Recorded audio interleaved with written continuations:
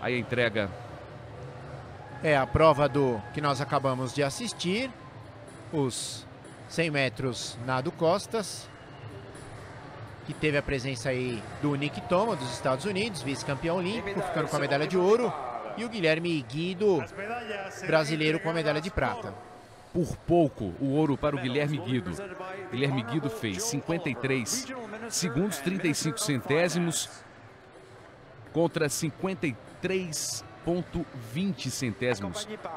15 centésimos apenas de diferença.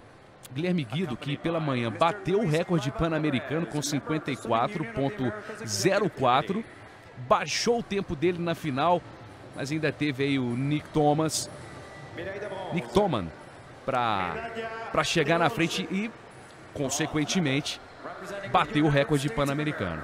E olha só, Marcos, como é que tá a disputa para ver qual é a maior potência da natação nesses Jogos Pan-Americanos. 18 provas disputadas, 6 ouros Estados Unidos, 6 ouros Brasil, 5 ouros Canadá e 1 para a Argentina.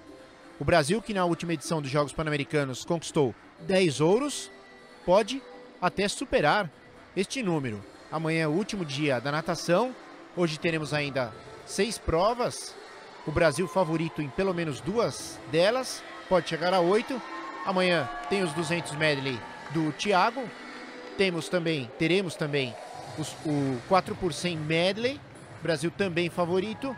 Então, eu acho que no mínimo 10, repetindo Guadalajara, o Brasil vai conseguir.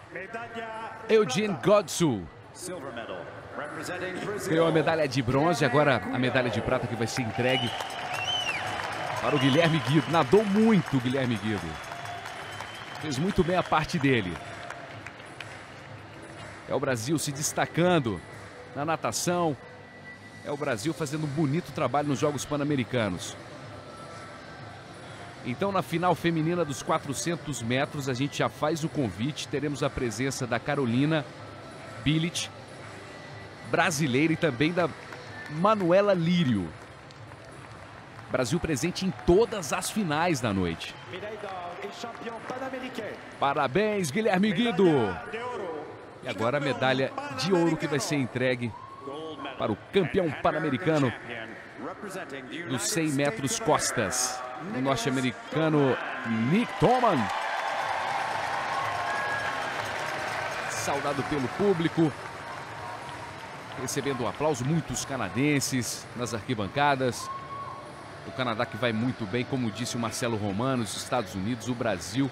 Há uma disputa entre esses três países para ver quem vai se tornar, não é? Quem, quem vai sair desses Jogos Pan-Americanos como a maior potência da natação do PAN.